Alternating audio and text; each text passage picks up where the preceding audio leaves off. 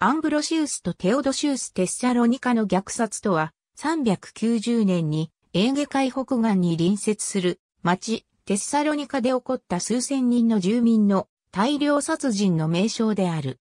その一件により、ローマ皇帝テオドシウス一世の命令で、ローマ軍はテッサロニカの住民の殺戮を行った。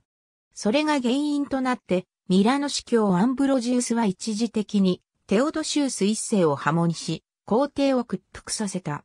虐殺に至るまでの一連の出来事は390年4月のテッサロニカに始まった。テッサロニカ駐屯の守備隊長であったブテリースは、当時性的性質の犯罪であり、禁止されていた同性愛の容疑を理由にテッサロニカの市民の間で大きな人気を享受していた戦車競技の漁者を逮捕した。その漁者はテッサロニカの市民たちに大変人気がある人物であり、多くの市民らは漁者の釈放を要求した。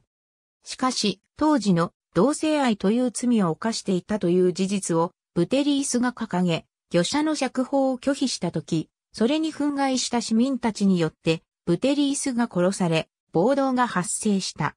テオドシウス一世このテッサロニカでの暴動の報告を受け、当時、メラディオヌムにいたローマ皇帝、テオドシウス一世は激怒し、冷静さを失ってしまう。テオドシウス一世は、ローマ軍をテッサロニカの町に送り込み、兵士たちに報復処置として容赦なくすべての住民を虐殺しように命じた。少し後、月光が収まったテオドシウス一世は冷静さを取り戻し、大量虐殺に至る考えを変えた。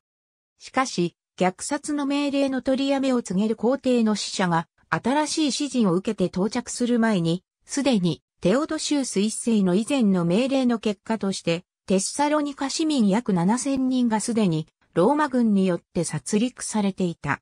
テオドシウス一世の冷静な直命が間に合わなかったが、ために無残な光景が広がることとなった。虐殺の放棄とした死者から聞き、自ら激光して報復処置を認め、虐殺を引き起こしたことに対し、テオドシウス一世は落胆したという。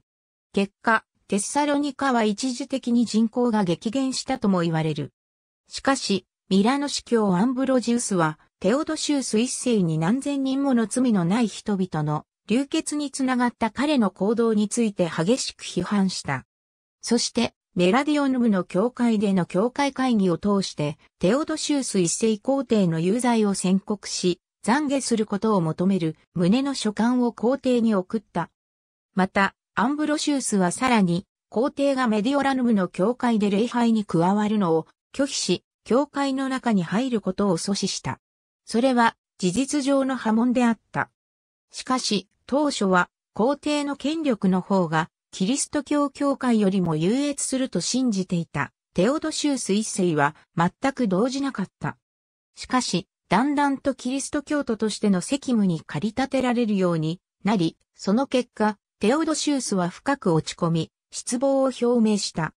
そして、ミラノ司教アンブロジウスに対する心から自責の念を表明し、懺悔を行ったことによってて初めて彼を許し、破門を解いた。テオドシウスの波紋を宣言して、公開謝罪を要求し、これを得ることに成功したのであった。この事件を稀にアンブロジウスの優位という。ありがとうございます。